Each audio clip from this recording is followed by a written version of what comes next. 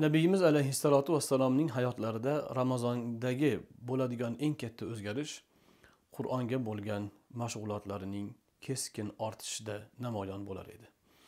U zot alayhissalotu vassalom o'zi doim qur'on vahiysini qabul qilib odamlarga qur'on o'rgatish bilan ko'p vaqt mashg'ul bo'lsalarda ramazon oyi kelganda bu oyni qur'on oyi o'laroq o'tkazishda misli ko'rilmagan yuqori bir saviyada faoliyat olib borardilar. U zot alayhissalotu vassalomning hayotlarida eng katta eng ko'p qilgan amallaridan biri bu qur'on o'qib qur'on o'qitish edi.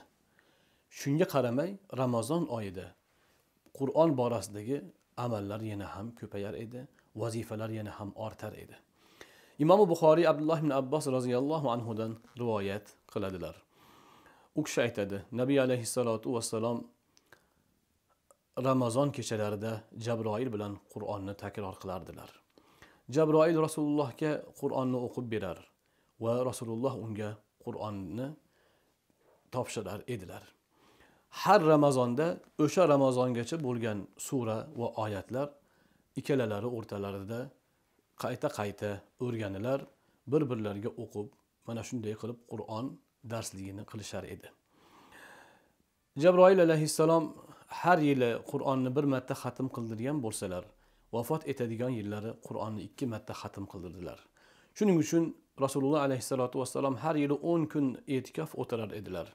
Lekin vafot etgan yillari rasululloh alayhissalom yigirma kun e'tikof o'tirdilar. Va bu yigirma kunda qur'onni deyarli oyatlari suralari tugab yakunlanib qolgan edi. Undan keyin bir necha sanoqligina oyatlar nozil bo'lgan.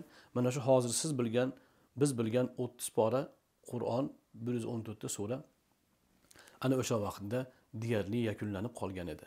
Mana shu o'ttiz pora qur'onni qur'oni karimni to'liq ikki ikki marotaba ramazonda xatm qilib berdilar va bu xatmlari faqatgina jabroil bilan bo'lgan xatmlari undan tashqari ham o'zlari namozlarda alohida qur'on o'qib qur'onni xatm qilar edilar.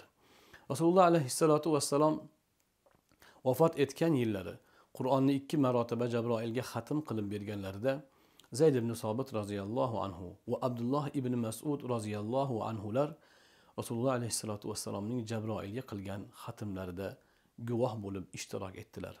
Ana shunday buyuk sharafga ular muvaffaq bo'ldilar. Rasulimiz alayhissalotu vassalom vafotlaridan oldingi bemorliklarida fotimaning qulog'iga pichirlab dedilar. Ey fotima menga jabroil har yili qur'onni bir, bir marotaba xatm qildilar edi. Bu yil ikki marotaba xatm qildirdi. Men, bu, men buni ajalim yaqinlashganining belgisi deb tushundim dedilar.